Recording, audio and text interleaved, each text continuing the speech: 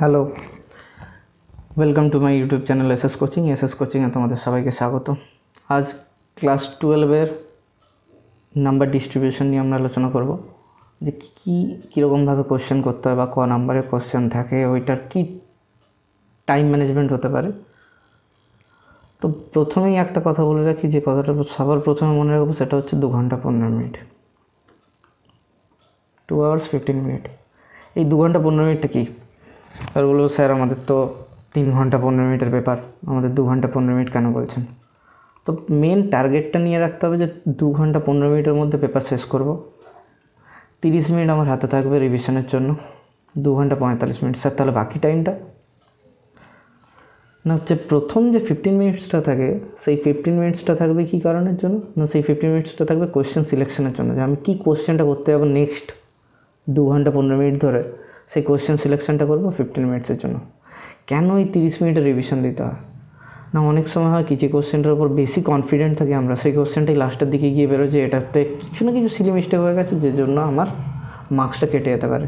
তাহলে হয় ওই নিউমেরিক্যালটা বা ওর অথবাটা যেটা থাকবে, সেই অথবাটা সলভ করে আসতে হবে, যাতে কিনা আমি ফুল মার্কস পেতে পারি ওখানে। তোমাদের পেপার থাকছে এইট্টি মার্কসের এইট্টি মার্কসের মধ্যে এইট্টি মার্কস পেতে গেলে আগে টাইম ম্যানেজমেন্টটা খুব ভালোভাবে জেনে নিতে হবে। টুয়েলভের প্রিপারেশনের শুরুর আগে। এবার অনেকেই বলবে যে, আমাদের তো স্যার এখনও দুটো পেপার বাকি আছে ক্লাস ইলেভেন টুয়েলভ স্টার্ট করব কী করে? ওই যে দুটো পেপারটা আছে, ওটা কবে হবে কেউ অ্যাসিডিটি এখন দিতে পারছে না। তাহলে টুয়েলভের জন্য প্রিপারেশন কারণ কোভিড নাইন্টিন সবাই জানে যে খুব বাজেভাবে ছড়িয়েছে প্যান্ডেমিক হারে ছড়াচ্ছে। তো কি করলে আমাদের ওই নাম্বারটা বা ওই জিনিসটা কি করলে আমাদের eighty out of eighty score করতে পারব, সেটা আমাকে চেক করতে হবে। প্রথমে আগে দেখে নিই আমাকে টোটাল কটা কোয়েশ্চেন করতে হচ্ছে। আমাকে টোটাল পেপারের মধ্যে তিরিশটা কোয়েশ্চেন করতে হয়। আপাতত এখনও অবধি এই এই পার্সেন্টেজই ছিল বা এই রেশিওতে এই নাম্বার অনুযায়ী বা এই প্যাটার্ন অনুযায়ী কোশ্চেন আসতো।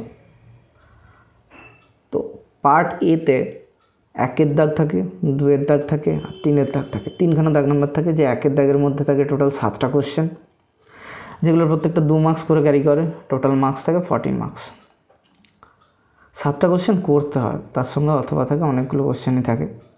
টোটাল পেপারে যদি চেক করে দেখি, এক আশি মার্কসের কোশ্চেনে ওয়ান ফর্টি মার্কসের মতো কোশ্চেন থাকে টোটাল অথবা সমেত অর সমেত। দু নম্বরের কোশ্চেনে থাকে নখানা কোশ্চেন যে নটা কোশ্চেন প্রত্যেকটা চার মার্কস করে থাকে একটাতে, তাহলে ন চারে ছত্রিশ মার্কসের টোটাল কোশ্চেন থাকে। চার মার্কসের যে কোশ্চেনগুলো থাকে চারটে থাকে পাঁচ তিনের দাগের কোশ্চেনে চারটে থাকে।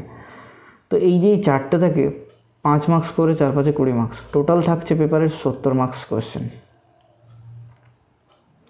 টোটাল ওখানে থাকছে সত্তর মার্কসের কোশ্চেন এবার চেক করব যে সত্তর মার্কসকে কীভাবে কি টাইম ম্যানেজমেন্ট দেওয়া যেতে পারে, যাতে কিনা আমি খুব ইজিলি কভার করতে পারি। পার্ট বি যেটা থাকে, সেই পার্ট বিতে দশটা এমসিকিউ থাকে, এটা সবাই আপাতত জেনে আসো যে দশ দশ মার্কসের ক্লাস ইলেভেন টুয়েলভের কোশ্চেন প্যাটার্ন সমস্তই সেম খালি এখানে থাকে গ্রুপে গ্রুপ বি গ্রুপ সি এরকম দেওয়া থাকে। এখানে থাকে পার্ট পার্ট বি দিয়ে।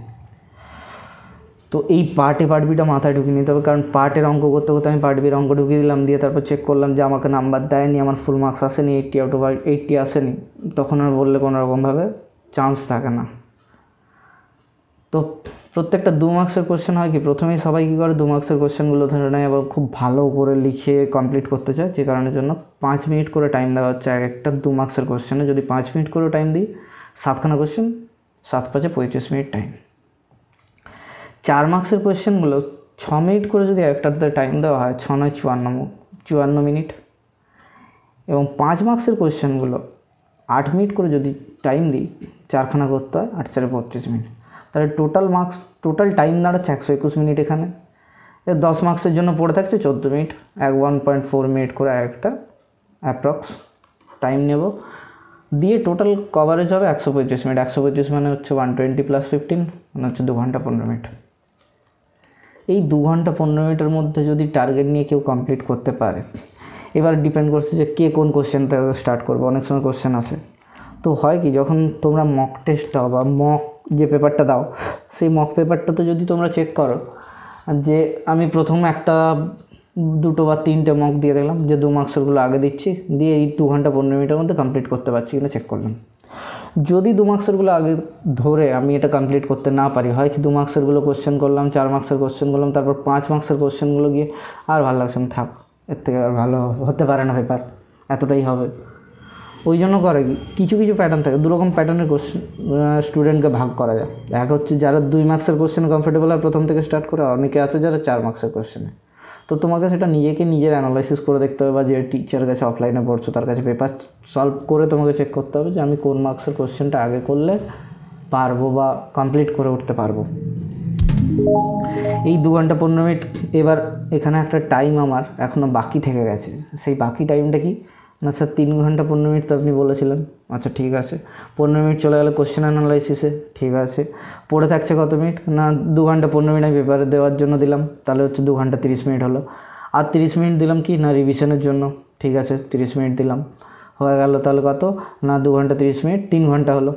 আচ্ছা তিন ঘণ্টা যদি হয়, তাহলে স্যার বাকি যে টাইমটা থাকছে আর বাকি টাইমটা কোথায় স্যার? না তিন ঘণ্টার পর আরও পনেরো মিনিট থেকে যাচ্ছে?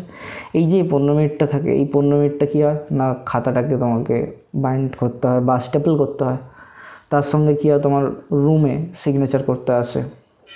কখনো কখনো এমসিকিউ ক্লাসে হল ম্যানেজ এই সব জিনিসের জন্য পনেরো মিনিট টাইম নষ্ট হয়। তো সেই পনেরো মিনিট টাইমটাকে আমি ধরে নিচ্ছি যে ওটা এক্সট্রা আমার কাছে হাতে থাকল। এই যে দু ঘণ্টা পনেরো মিনিটের মধ্যে যদি কমপ্লিট হয়ে যায়, তাহলে পেপারটাকে পুরো রিভিশন দেওয়ার পর তুমি এইট্টি আউট অফ এইট্টি পারবে। এবার বলবে যে sir eighty out of eighty কেন বলছেন? হান্ড্রেড আউট অফ হান্ড্রেড কেন বলছেন না? তা হাতে যে যে কুড়ি মার্কসটা থাকে, সেই কুড়ি মার্কসটা নিজের হাতে থাকে না আশা করি। সেটা থাকে স্কুলের ওপর ডিপেন্ড করে। আর তোমার প্রজেক্টটা কতটা ভালো হচ্ছে সেটার ওপর ডিপেন্ড করে। নেক্সট নেক্সট এবার তারপরের দিন থেকে এই টুয়েলভের ব্যাচের নতুন পার্টগুলো স্টার্ট করব ক্লাসেসগুলো নেওয়া স্টার্ট করব thank you stay tune for more update bye bye